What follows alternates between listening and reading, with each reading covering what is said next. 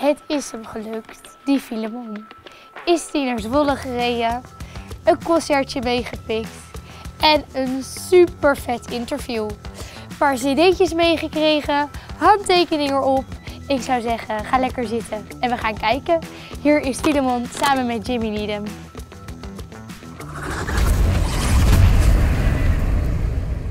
We zijn hier bij de WZRV-hallen in Zwolle. Mastermind for You heeft vanavond een concert hier georganiseerd van Jimmy Needham.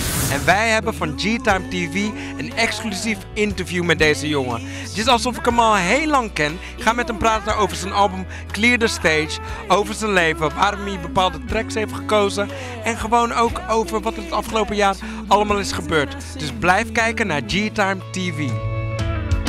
Always looking for the limelight dim my house and make the stages bright. Compared to you, I'm just a nightlight against the blazing sun. So Jimmy, great to finally meet you. Yeah, man. man. Good to meet you too, man. So I'm so glad that you could take the time out to come over here, and we've talked a few times, but finally live in action. That's right. great, Absolutely. great. So I got I got something for you. Wait, All right. Uh oh. Oh, like English licorice. I've got like stroopwafels. stroopwafels. I love these things. I hate these things, but I love these things. This is great. Do you know any Dutch words already? I do. Um, here we go. Hello. Dankjewel. Stroopwafel. That's it. That's it. That's good. That's a start. You Yeah, have to a start, start. somewhere, and, that's where I start. And, and it's great, and it's great. so um, tonight you got a concert over here in the back. That's right. So what do you want people to take home from a concert with Jimmy Needham? Well, you know, tonight is we're we're gonna have a lot of fun. I mean, it's um, this is this is what I love to do. My agenda is just to promote Jesus, uh, to make Him famous, and um, and so to that end, you know. I, I have crafted my songs and my set to, to address those things. So I'm, I'm hoping that uh, folks will have an ear to listen to um, some challenges and some encouragement and, and things like that. So uh, overall, it's to be it's going to be a fun night. It's going to be a mix of a lot of different things.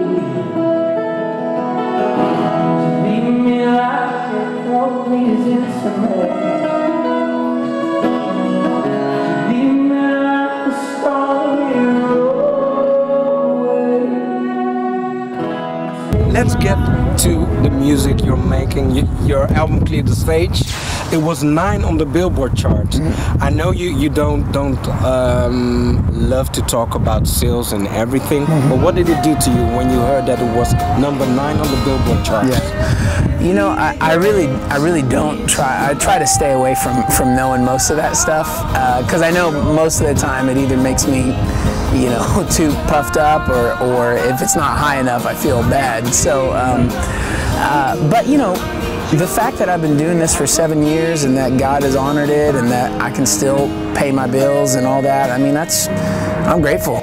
So the album Clear the Stage. What's the main message of the album? Uh, you know, this album really is, it's a personal one that, that um, uh, for me, um, it's really talking about all of those things that I have sort of put in center stage, center focus uh, in my life that has taken the place of where Jesus belongs. And we all do it, don't we? I, I am, I am such a good addict.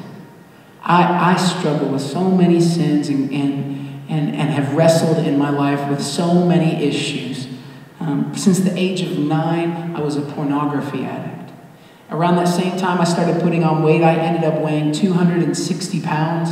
I don't know what that is in your metric system, but I'll tell you what, I was big. I, I loved food and I was a glutton. I had so many things that I was sinning against God with, but do you know what those really were? It was me saying to God, You can't satisfy me, so I'll find something else. That's what sin is. You can't fill this heart. I'm hungry, but I think it's for that. So y- you guys got Lively. That, that's the name of your daughter. But Yeah. before Lively, you lost one or two children. Yeah, three. Um, three. Yeah. How did she deal with that? It was hard. Uh, I mean, so many uh, folks have gone through miscarriages and, and lost babies, and, and so I know they can relate. But it's just a hard, it's a hard thing to lose a child that you thought God was giving you to raise, and and so you know, for me as as the husband. You, you always want to fix things, you know, and I couldn't fix this, and uh, and so I, I, I sat down and I wrote a song because that's usually what I what I do when I'm processing, and I wrote a song for my wife Kelly to just encourage her that you know there's really nothing that I can do to help you to fix the situation to undo what has been done, but my my the song is called In the Middle, and it's a promise to her that even though I can't do anything about it, I'm, I'm going to be there with you in the middle of this situation um, eh, to, to comfort you, to, to be your shoulder to cry on. And, and, and honestly, that's exactly what, uh, what God promises us too, that even in the midst of suffering and sorrow, that God always comes in. He is always near uh, to the brokenhearted um, and to his people. He cares about us. And uh, so it, it was sort of my, my offering to her, and uh, it's uh, it's a, an important song on the record for me. You guys are pregnant again. Congratulations. It's, Thanks, man. It's a miracle. It is. Um, how do you experience this pregnancy? That's a good question. Um, you know, I think for us, we just try to um, now after all the, the losses that we've we've had, we try to hold every pre- pregnancy with an open hand. You know, to, to just say, um, just like Job said, the Lord gives, the Lord takes away.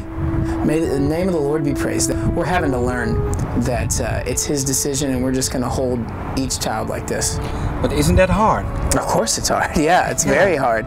Because you say it, but Yeah, well, uh, at the end of the day, you ha- the only way you could do that is you have to absolutely believe that God has your best in mind. Um, and that's a, also a hard thing to believe, but He's been so faithful in every moment of our lives uh, to, to do the thing that most ultimately benefits us, um, to know Him more and to be more like Him. So we just trust His character. And, uh, and you know what? If, if, and God forbid, but if we lose this baby, uh, of course it'll break our hearts, but but we also at the end of the day know that our God is in control and that this hasn't slipped through the cracks of his sovereignty, that he knows exactly what's happening and, and he purposes all things for the good of those who love him, who are called according to his purpose. well, Jimmy, thanks very much. Yeah. that- That you took the time out just to talk to us. And great meeting you in person. Absolutely. God bless you with your ministry, with your concert tonight. Thank you, brother. And we'll be talking. All right, man. Yeah, Thanks, thanks brother. Appreciate it.